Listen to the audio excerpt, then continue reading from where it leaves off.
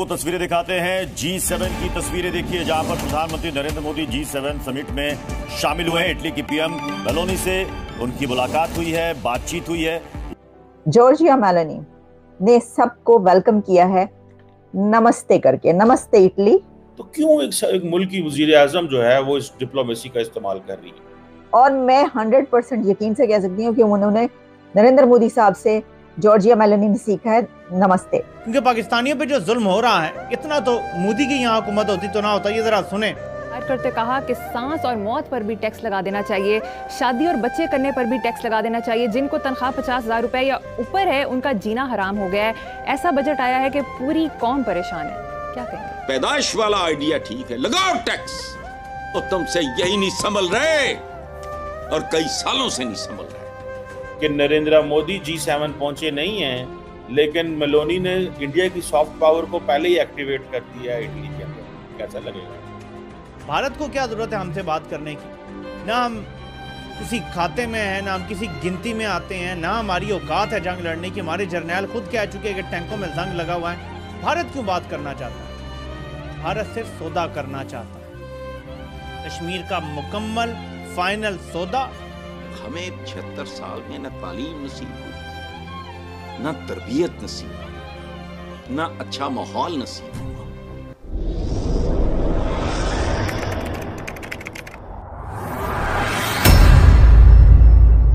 नमस्कार दोस्तों, स्वागत है आपका पाकिस्तान की बर्बादी में। जी हाँ तो आज की बर्बादी कुछ इस तरह है कि भारत के प्रधानमंत्री पहुँचे हैं इटली, और इटली पहुँचते ही पूरी दुनिया ने भारत और भारत के प्रधानमंत्री की संस्कृति को देख आज पूरी दुनिया हैरान रह गई। जी हाँ तो हुआ कुछ यूँ है कि इटली के प्रधानमंत्री जॉर्जिया मेलोनी जब भारत आई हुई थी तो उन्हें भारतीय संस्कृति बहुत पसंद आई, जिसके बाद इटली के प्रधानमंत्री ने मानो भारतीय संस्कृति पूर्णता अपना ली हो, क्योंकि जिस तरह जी सेवन में जॉर्जिया मेलोनी ने सभी मेहमानों का स्वागत किया है। उसे देखकर तो यही लगता है कि अब पूरी दुनिया में भारतीय संस्कृति तेज़ी से फैल रही है, क्योंकि हाथ जोड़कर स्वागत करना तो भारतीय संस्कृति है। और यह संस्कृति भारत के प्रधानमंत्री नरेंद्र मोदी ने जिस तरह पूरी दुनिया में फैलाया है, उसकी झलक जी सेवन में इटली के प्रधानमंत्री जॉर्जिया मेलोनी ने दिखाई है। और जी सेवन में आए हुए सभी मेहमानों का स्वागत हाथ जोड़कर किया है। खैर दोस्तों, आप इसे छोड़िए। हम पहले पाकिस्तानी मीडिया का रिएक्शन देखते हैं।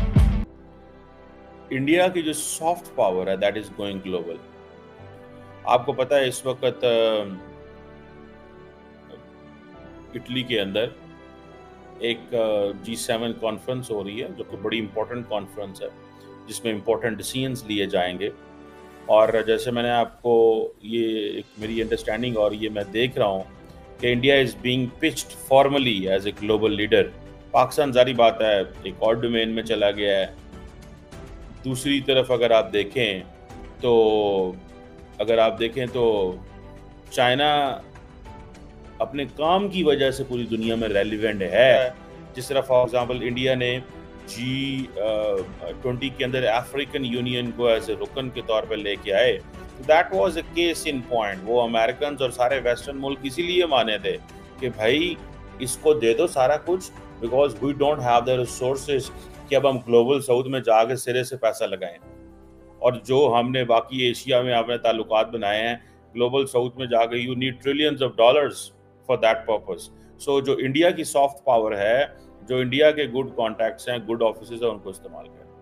बहरहाल, ये देखें कि जो इंडिया की सॉफ्ट पावर टूल है, ये अगर आप जिन लोगों को नहीं पता लेट मी टेल यू कि जो ये जो टर्म सॉफ्ट पावर है ये मेरे बड़े फेवरेट पॉलिटिकल साइंटिस्ट हैं जोसेफ नाय उन्होंने ये टर्म कॉइन की थी और इसका मतलब सिंपल सा होता है कि आप एक के अंदर एबिलिटी होती है कि आप अगले बंदे का बिहेवियर चेंज कर सकते हो। सो so, अगर आपको याद हो कोविड के ज़माने के अंदर इंडिया ने क्या किया कि इंडिया ने पूरी दुनिया को ये कहना शुरू कर दिया भाई देखो हम तो ये नमस्ते करते हैं तो हैंडशेक करना नहीं चाहिए।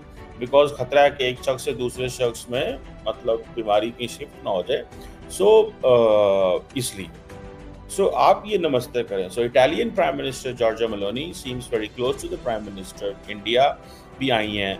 इंडिया में उनका बड़ा चर्चा हुआ और देखें कोई मुल्क इंडिया को इसलिए इज़्ज़त नहीं करेगा कि इंडिया जनाब उसकी आबादी बढ़ी है या मुल्क बढ़ा है। लोगों को अपने कारोबार से गर्जा यार कोई भी सदर वज़ीर आज़म कोई इंसान किसी को बगैर मकसद के नहीं मिलता। तो क्यों एक, एक मुल्क की वज़ीर आज़म जो है वो इस डिप्लोमेसी का इस्तेमाल कर रही है?